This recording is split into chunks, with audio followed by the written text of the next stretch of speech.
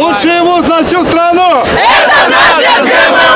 Проверить свою скорость и выносливость будущие медики решили в эту субботу на соревнованиях кросс-наций, которые состоялись в 16 раз. Их команда стала одной из самых многочисленных. На старт вышло более 300 человек, студенты всех курсов и специальностей. Стоит отметить, что участвовать в спортивных мероприятиях – это добрая традиция медицинского университета. Конечно, это здоровье, конечно, это участие, это настроение, это тонус к тому, чтобы стать лучше, тонус к тому, чтобы двигаться вперед и развиваться.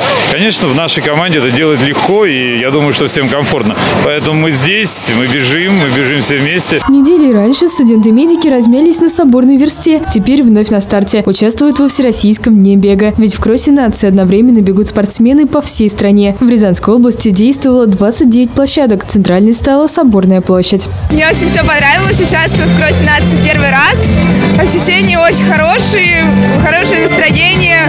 Очень хорошо то, что много было атмосфера. Все понравилось. Основной дистанцией был кросс на 3 километра. Участники стартовали на площади Соборной, бежали по площади Ленина, Первомайскому проспекту, улице Семинарской и финишировали около театра юного зрителя. Спортсмены справились в среднем за 10 минут. Прекрасно, дистанция тяжелая. Я старался пробежать ее. Я доволен результатом, поскольку я к этому кроссу не готовился, потому что очень интенсивно началась учеба. Но я пробежал, быстро восстановил дыхание.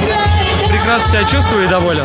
Стоит отметить, что боевой дух спортсменов поддерживала команда по черлидингу Рязанского государственного медицинского университета, который является победителем чемпионата по черлидингу в Москве. Галина Кудряшова, Станислав Кудряшов, телекомпания «Город».